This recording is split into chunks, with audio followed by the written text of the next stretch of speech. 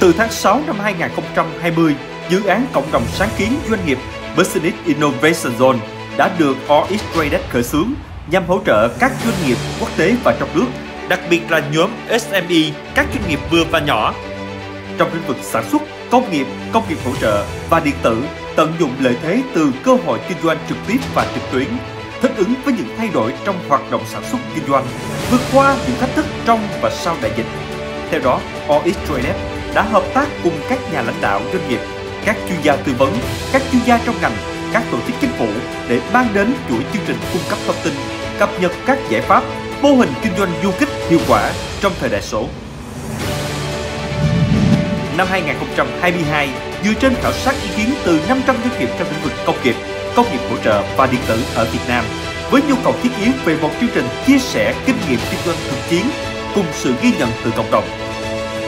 Dự án Cộng đồng sáng kiến doanh nghiệp quyết định thành lập ban cố vấn và tổ chức lần đầu tiên chương trình lễ vinh danh cộng đồng sáng kiến doanh nghiệp với mục tiêu tìm kiếm và lan tỏa thông điệp, bài học kinh doanh từ các câu chuyện sáng kiến doanh nghiệp trong và sau đại dịch.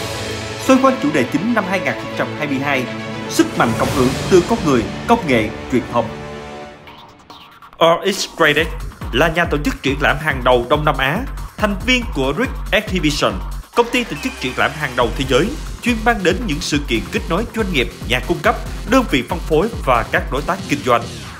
Cùng quy mô toàn cầu hơn 400 sự kiện tại 22 quốc gia và phục vụ 43 lĩnh vực công nghiệp, riêng tại Thái Lan và Việt Nam, OX Traded sở hữu hơn 20 thương hiệu uy tín về triển lãm và hội nghị quốc tế.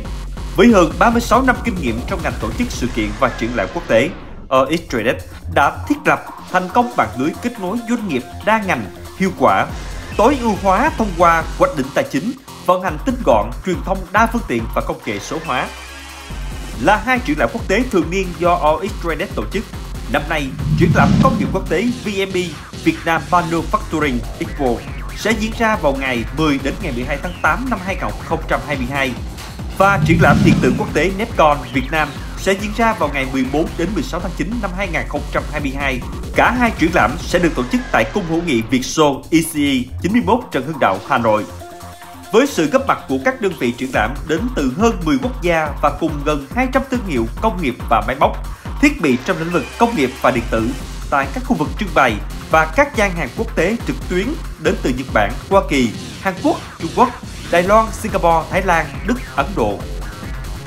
Xuyên suốt trong những ngày diễn ra hai triển lãm sẽ là các hoạt động giao thương hướng đến doanh nghiệp nội địa và quốc tế như chuỗi hội thảo tư vấn chuyên đề, các bản tin cập nhật công nghiệp tiên tiến nổi bật từ các thương hiệu hàng đầu thế giới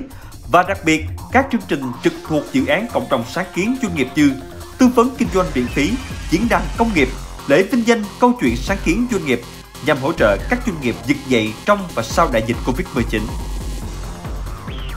Còn chần chờ gì nữa, hãy đăng ký tham gia ngay để trở thành đối tác, nhà tài trợ, diễn giả của dự án cộng đồng sáng kiến chuyên nghiệp. Thông tin chi tiết vui lòng quét mã QR hoặc truy cập vào website cuộc quay web vmeexpo.com,